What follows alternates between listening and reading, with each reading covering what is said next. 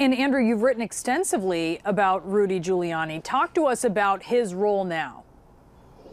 Well, you know, President Trump is not the only person who's watching his power slip away. Giuliani's relevance, his finances are uh, all tied up in his access to power to the White House. And so, you know, while other others in the White House, you know, are urging Trump to throw in the towel, Giuliani's, you know, Giuliani's holding on to power by a thread, and he's, you know, he's he's happy to throw gas on the fire, and so he's, you know, he's throwing spaghetti against the wall, trying every possible means to uh, to reverse the outcome of the election. It's you know, it's an interesting situation. I mean, Giuliani is uh, is not a shy person when it comes to tactics like this, and it looks from what I understand, is that uh, no other lawyer really wants to try this anymore.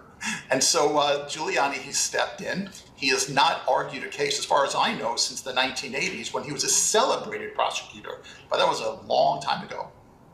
Yeah, the decades ago. And so is he being, you know, is he handsomely compensated for his work? well, according to the New York Times, he's asking for $20,000 a day. And, uh, you know, it's a lot of money, but uh, you know, that's a perfect distillation of what I was saying, is that everything that Giuliani uh, has in terms of uh, relevance and um, his influence and finances are tied to Donald Trump. And so uh, this is just one more example of how, you know, it's, it's in his best interest to try to keep the Trump presidency alive, no matter how um, distant the possibility of that is.